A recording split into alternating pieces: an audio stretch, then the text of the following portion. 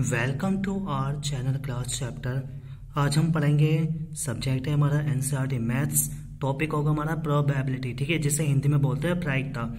इसे इंग्लिश में एक्सपेक्टेशन के नाम से भी बुलाते हैं, ठीक है? इसका बहुत ईजी सा फॉर्मूला है।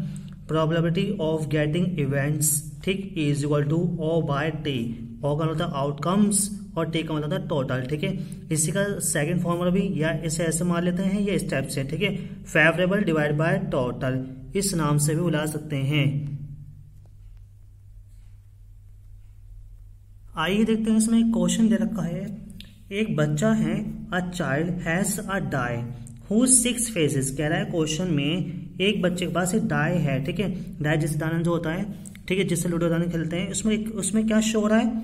The letters are giving below ठीक है तो उसमें कुछ लेटर्स दे रखे हैं डाय में।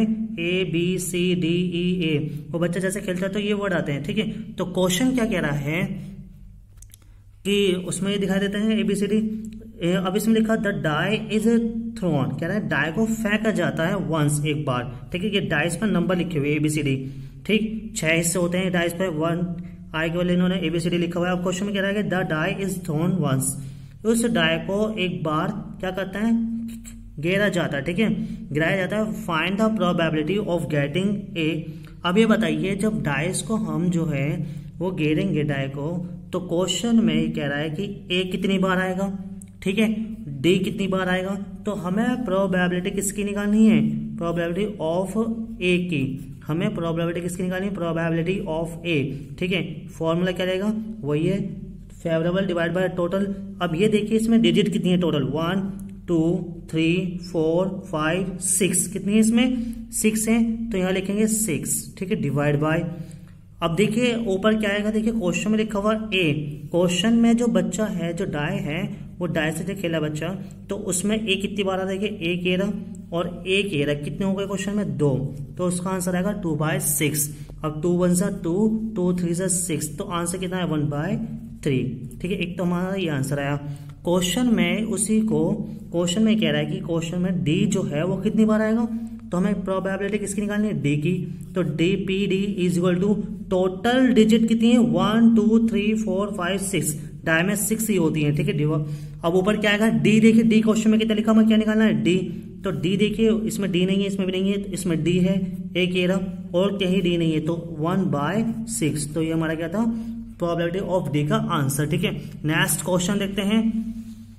A game consist of tossing a one rupee coin three times ये कह रहा है क्वेश्चन में, एक रुपए का सिक्का तीन बार, ठीक है? उछाला जाता है. And tossing it outcome each time Hanif wins if all the three question में ये कह रहा है हनी जीत जाता है।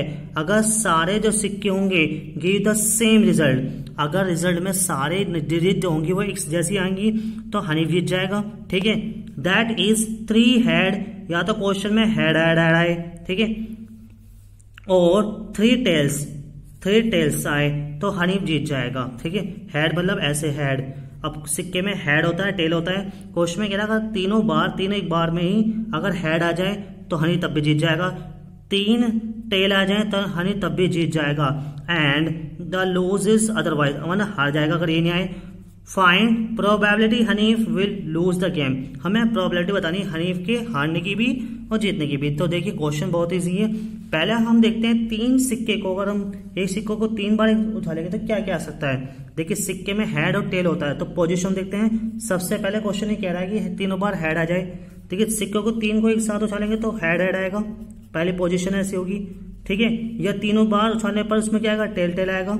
ठीक? क्वेश्चन में लिखा था थ्री टाइम्स एक बार में तीन बार उछाल जाता है, एक सिक्कों को। तो फिर क्या आएगा क्वेश्चन में? देखिए हेड हेड आ गया, फिर टेल टेल आ गया। अब की बार क्या क्या आ सकता है? देखिए, पहली बार उछालने पर हेड दूसरे में हेड तीसरे में क्या टेल ठीक है, फिर दूसरी बार पोजिशन देते हैं। पहले में हेड था, दूसरे में हेड था टेल था। पोजिशन फोर्थ में क्या होगा कि हेड आ सकता है टेल आ सकता है हेड आएगा, ठीक है? तो और इसके बाद कौन सी पोजिशन होगी? टेल आ सकता है क्वेश्चन में हेड आएगा हेड आएगा, ठीक है? फिर इसके बाद कौन सी पोजीशन होगी? टेल आ सकता है शुरू में, दूसरे में भी टेल आएगा, तीसरे में हेड आएगा। लास्ट पोजीशन क्या होगी? इसकी टेल आ सकता है हेड आ सकता है और टेल आ सकता है। ठीक है, ये क्या है? इसकी पोजीशन हो सकती है। कितनी डिजिट हो गई? एक, दो, तीन, चार, पाँच छः सात, और भी पोजीशन हो सकती हैं। देखिए। हेड है tail tail head head tail head tail देखिए, ऐसी पोजीशन हो सकती है कि शुरू में हेड आ जाए टेल टेल आ जाए तो हमारी कितनी पोजीशन हो गई है? आठ। ठीक है?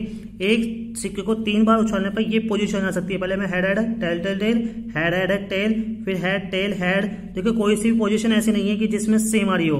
बस इसमें सेम आ रही देखिए, दो डिजिट जो है ऐसी, दो बार जो पोजीशन ऐसी हुई जिसमें हेड हेड भी आया टेल टेल भी आया। तीनों में एक जैसी आई।